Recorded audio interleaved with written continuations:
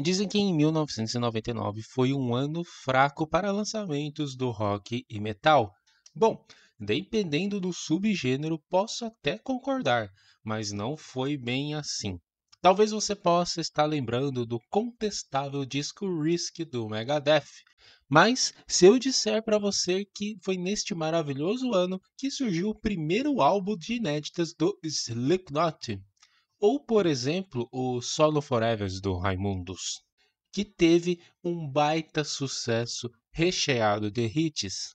É basicamente dois pesos e duas medidas, pois o new metal estava surgindo para o grande público e uma nova gama de bandas brasileiras surgidas no começo da década já estavam se preparando para o que iria vir nos anos 2000. E neste vídeo vamos viajar a mais de 20 anos atrás para ver como foi o ano de 1999 na história do rock e metal, e também ver um pouco do que aconteceu naquele ano, além da música. E pensar que parece que foi ontem que eu estava colecionando os gelocósmicos da Coca-Cola. Meu Deus, como o tempo passa. Bom, sem mais delongas, meu nome é Pablo Sato, sejam bem-vindos ao canal Flog Rock e Bora pro vídeo.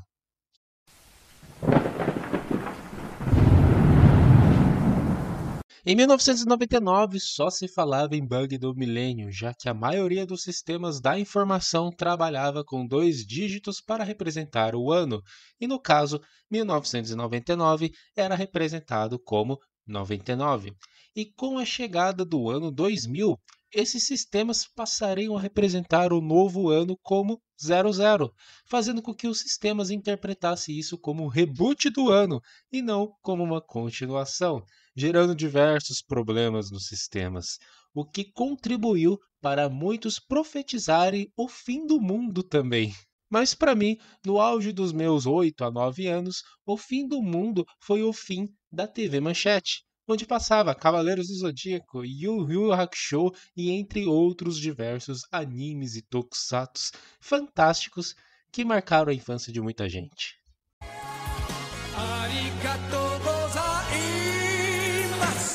E aqui no Brasil foi neste ano que foi concretizado o segundo mandato de Fernando Henrique Cardoso na presidência do Brasil finalmente marcando uma estabilidade na cadeira da presidência após muitas tretas e maracutaias no começo da década. Quer dizer, estabilidade por enquanto, né? Mas, enquanto o Brasil ainda buscava instabilidade, o mundo da tecnologia andava de passos largos. Com o avanço da internet, foi neste ano que surgiu o Mercado Livre. E também o lançamento do novo e último console da Sega, o Dreamcast, um videogame peculiar com uma boa biblioteca de jogos, mas que com pouco tempo de existência foi engolido pelo poderoso PlayStation 2. E sem contar que a Nintendo tinha lançado o GameCube um pouquinho depois. E agora entrando para a sétima arte, foi neste ano que foi lançado filmes como Fim dos Dias, Star Wars Episódio 1, A Ameaça Fantasma, O Gigante de Ferro e Toy Story 2. Então ele é? É. É, ah, é. E nem tudo foi flores. Infelizmente foi neste ano que ocorreu o massacre de Columbine, nos Estados Unidos. Dois jovens perturbados entraram armados em um colégio e mataram 12 alunos, fora outros que ficaram feridos. Como sempre, a mídia e os órgãos públicos quiseram achar um culpado, como os videogames, já que eles jogavam Doom, ou até mesmo na música, sobrando para o Mary Manson. Mas eles nunca falavam que o motivo real era bullying, era depressão e outros fatores. E na boa, se a pessoa já é perturbada, ela tende a fazer merda independente de games, músicas, filmes, livros e etc. Mas parece que é difícil colocar isso na cabeça de mentes fechadas, até mesmo nos dias atuais. Bom, agora entrando para o ramo da música, já vou citar aqui para ficar livre mesmo. Eu sei que o canal é dedicado ao rock e metal, mas devo citar o Backstreet Boys, lançando o álbum Millennium. Foi um sucesso absoluto e posso confessar aqui, esse disco eu acho muito bom, viu? Mas fica entre nós.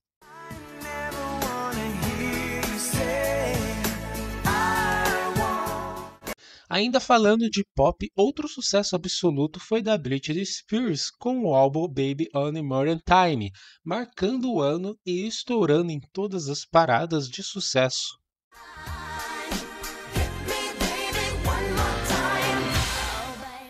E claro que vou citar alguns sucessos nacionais aleatórios para esse canal, como a banda P.O. Box lançando seu álbum ao vivo, P.O. Box ao vivo, impulsionados pelas músicas como Amor 99.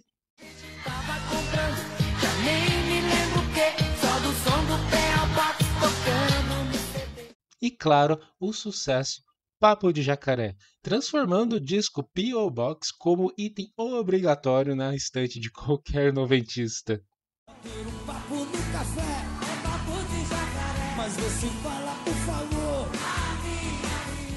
E para encerrar o momento aleatório, ou não, né? Dependendo do seu ponto de vista, temos também Sandy e Júnior com o álbum As Quatro Estações, que fez muito sucesso aqui em terras tupiniquins e que alavancou a carreira da dupla.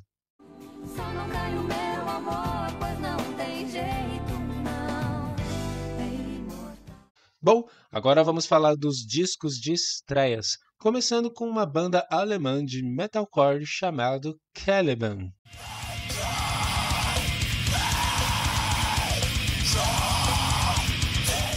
Também temos uma banda japonesa aqui neste vídeo. O Dirt and Grey lançou o seu álbum, o Keuzi.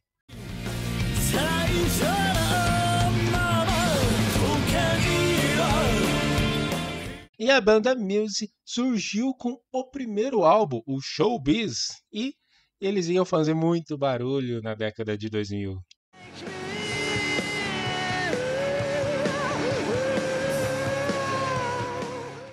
E o The White Stripes lançou seu álbum auto-intitulado e preparando o terreno para os sucessos que viriam na década de 2000.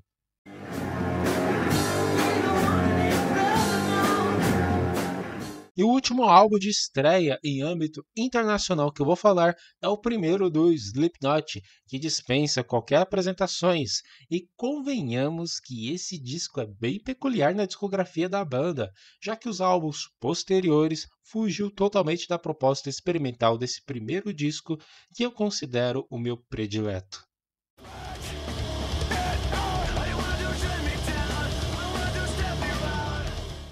E nos discos de estreias nacionais tivemos a banda Penélope com o álbum Mi Casa Su Casa. Para quem não conhece, é a banda da Erika Martins, que ficou mais conhecida ainda cantando na música A Mais Pedida da banda Raimundos, que vamos falar um pouquinho mais para frente.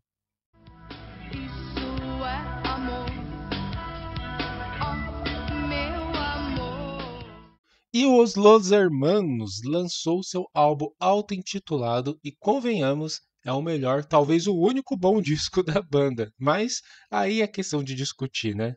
O fato é que não podemos negar o sucesso que a banda conseguiu com esse disco e o aumento de meninas batizadas com o nome de Ana Júlia, que surgiu por causa da música.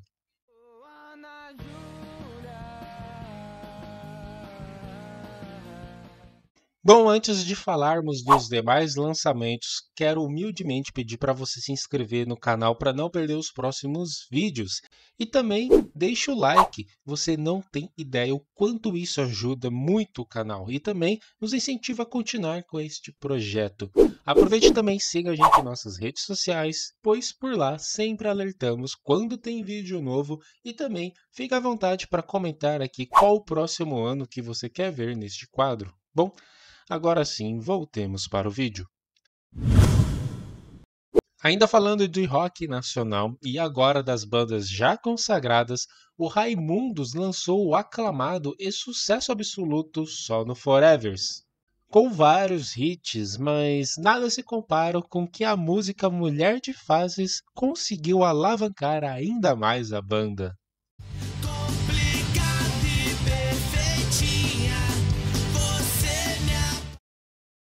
Outro álbum clássico do nosso rock nacional, lançado em 1999, foi o lado B, lado A da banda O Rapa, que emplacou sucessos como Minha Alma e O Que Sobrou do Céu.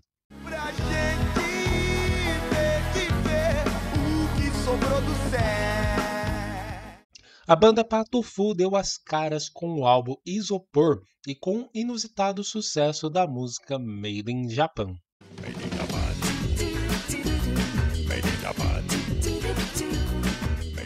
Já o Ira, ainda se alimentando dos sucessos da década de 80, lançou o álbum Isso é Amor, que contém a minha música predileta da banda, que é a Bebendo Vinho.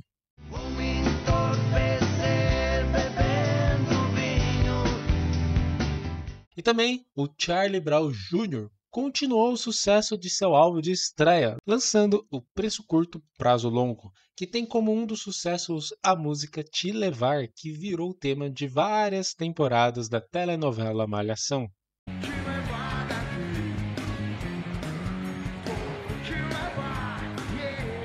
E para encerrar os lançamentos nacionais com chave de ouro, temos a Cássia Eller com o disco clássico Com Você Meu Mundo Ficaria Completo, embalando o hit O Segundo Sol. Quando o segundo sol chegar para realinhar. Agora entrando para os lançamentos internacionais, bom, vamos começar com Sting com o álbum Brand New Day.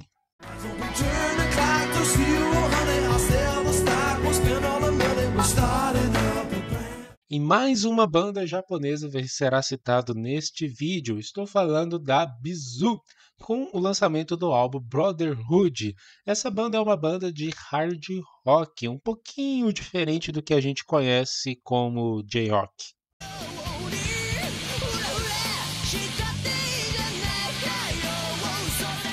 Quando falamos de 1999, é claro que eu não posso deixar de citar o Red Hot Chili Peppers com o lançamento do poderoso álbum Californication, que alavancou ainda mais a banda, que já era um sucesso absoluto.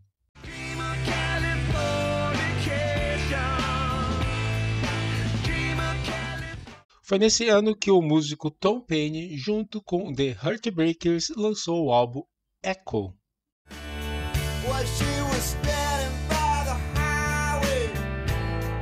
E a clássica banda Lynyrd Skinner lançou o álbum End of Forever. Foi um marco, pois a banda lançou um disco de inéditas depois de muito tempo. E convenhamos, esse disco é bom sim, tá?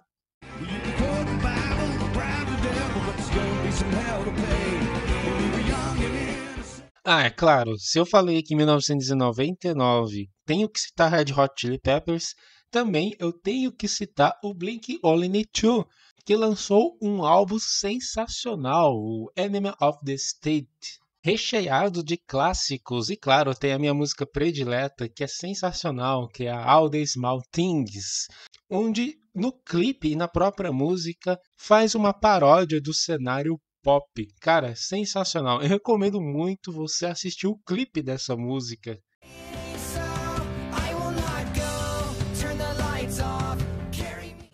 A banda Roxette lançou o álbum Have a Nice Day.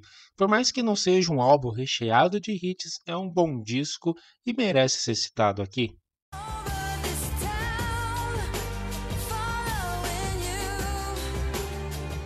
E a banda clássica de heavy metal Wasp lançou o disco Eldorado. Por mais que não foi um disco de sucesso que nem na década de 80, foi um bom disco também, mas ele foi engolido por outros.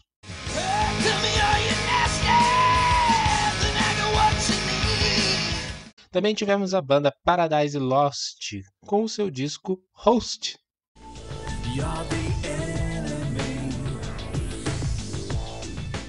E o nosso Homem das Estrelas, David Bowie, lançou o disco Horrors, que emplacou um sucesso, a música Third Days Shield.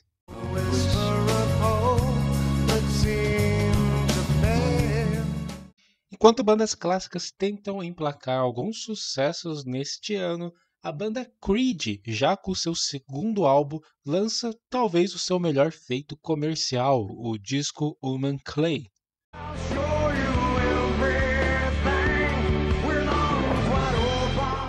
Conforme eu falei no começo do vídeo, o New Metal estava surgindo com tudo, principalmente no ano de 1999, e para representar esse movimento todo, nada melhor que a banda Korn com o disco Issues. É neste disco que tem o hit Fallen Away From Me.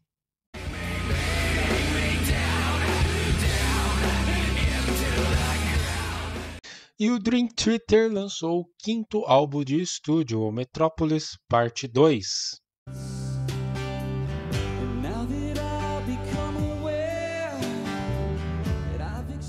Uma outra banda que vale a pena citar aqui neste vídeo é, a- é o Ornatos Violeta, uma banda de Portugal que canta em português com o disco O Monstro Precisa de Amigos. Um dia vais ser tu e um homem como tu. Também tivemos a volta da banda Blondie, que desde 1982 não lançava discos de inéditas, e foi neste ano que lançou o No Exit. É um bom disco, mas novamente não se compara com os sucessos anteriores.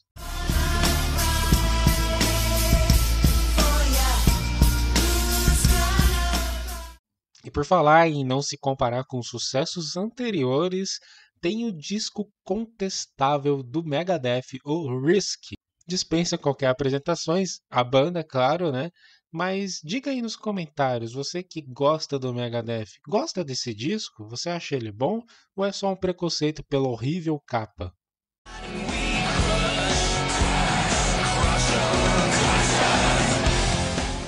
E por falar em contestações, temos a banda Limp Bizkit, outra representando o new metal, mas essa mais puxado para o rap. Mas esse disco é muito bom, viu? O Significant Other.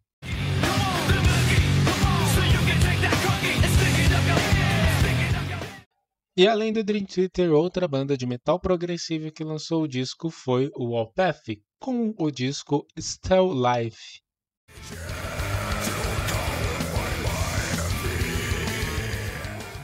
E a banda Santana, liderada pelo guitarrista mexicano Carlos Santana, lançou o clássico álbum Supernatural. Eu digo clássico porque realmente esse disco alavancou um sucesso internacional incomparável, impulsionados pela música Coração Espinado. Eu acho que você já ouviu essa música em algum lugar.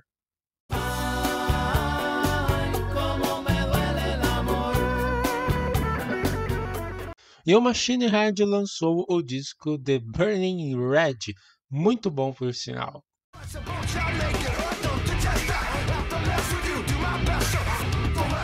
E ainda na pegada de um rock um pouquinho mais pesado, vamos aumentar ainda mais o peso com a banda Testament, lançando o disco The Glittering.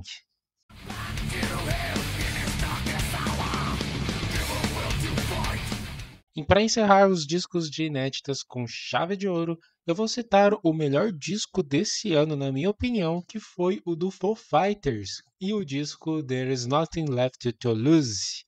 Disco sensacional, dispensa qualquer apresentações. Caso não escutou, não vou nem comentar.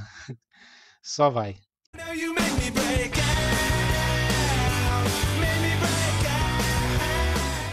Bom, e como de tradição, né, no final do vídeo vou falar dos falecimentos que ocorreram neste ano. Claro que não todos, né? Eu vou falar algum no termo musical e outros que impactaram bastante o ano de 1999. Começando com o cineasta Stanley Kubrick, que fez muito sucesso nos anos 70, fazendo filmes como 2001, Uma Odisseia no Espaço, Laranja Mecânica, O Iluminado, entre outros. Outro também que faleceu neste ano foi o Horácio Bolanhos, com apenas 69 anos de idade. Para quem não sabe, não se ligou pelo sobrenome, ele é um ator mexicano que interpretou o Godines no seriado Chaves. Sim, ele era o irmão de Roberto Gomes Bolanhos, o próprio Chaves. E agora sim, no âmbito da música, foi nesse ano que morreu o Charles Brown, com 76 anos de idade, que era um cantor e pianista de blues. Então é isso, galera. Espero muito que você tenha gostado. Comente aí qual disco você mais gosta do ano de 1999. Eu já falei que o meu predileto é o do Foo Fighters. E também aceito sugestões aí para os próximos vídeos. Também aproveite e veja os outros vídeos de outros anos que eu fiz. Eu fiz 1982, 1986, 1961, tem vários anos. E eu vou continuar com este quadro com sugestões de vocês, beleza? E vou reforçar novamente para você se inscrever no canal e deixe o like neste vídeo. Isso para ajudar muito a gente a espalhar a santa palavra do rock e a continuar com este projeto. Bom, eu, Pablo Sato, vou ficando por aqui. Muito obrigado pela sua audiência. E se você assistiu até aqui, você é uma pessoa sensacional. Bom, falou e até breve.